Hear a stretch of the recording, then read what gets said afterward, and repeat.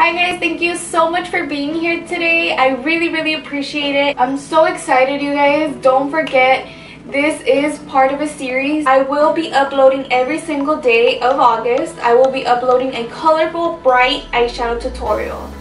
So definitely subscribe, stay tuned, and please comment below what color I should do next.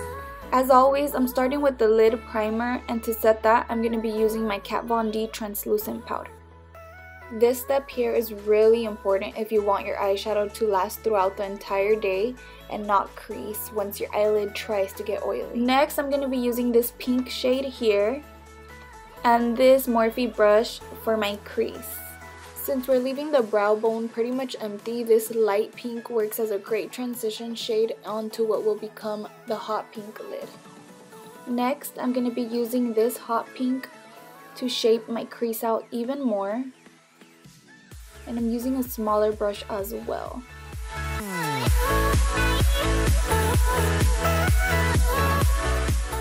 To keep my crease even more defined, I'm using a slightly darker hot pink with the same brush and I'm concentrating it on the same place.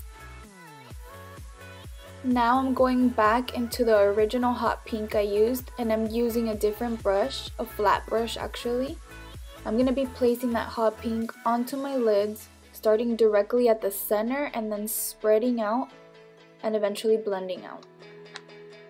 For the next step, I did not have glitter glue, so I decided to use a non-toxic crafts glue. I don't really recommend it, that's just what I used, and I used pink glitter. On a clean flat brush, I took a tiny dot of the glue and placed it on my eye Next, I picked up glitter with the same brush and placed it right over the glue. To tie in the look, I decided to place a little bit of the hot pink eyeshadow right over the glitter just so it didn't look so chunky and just kind of laying over everything. At this point, I stopped to do my foundation routine, which by the way, I do have a tutorial on everything for that. Now I'm just applying brown eyeliner to my lash line because I will be wearing falsies.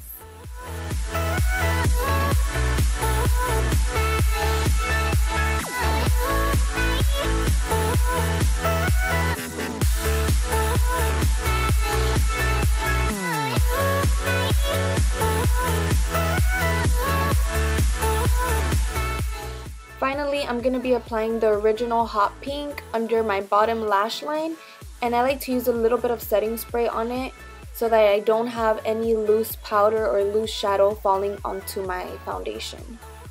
It also helps to enhance the color. When I know I'm going to add shadow on my bottom lash line like this, I like to leave the mascara till the very end so that I don't cover the mascara with the actual color of the shadow. And here we have the finished look.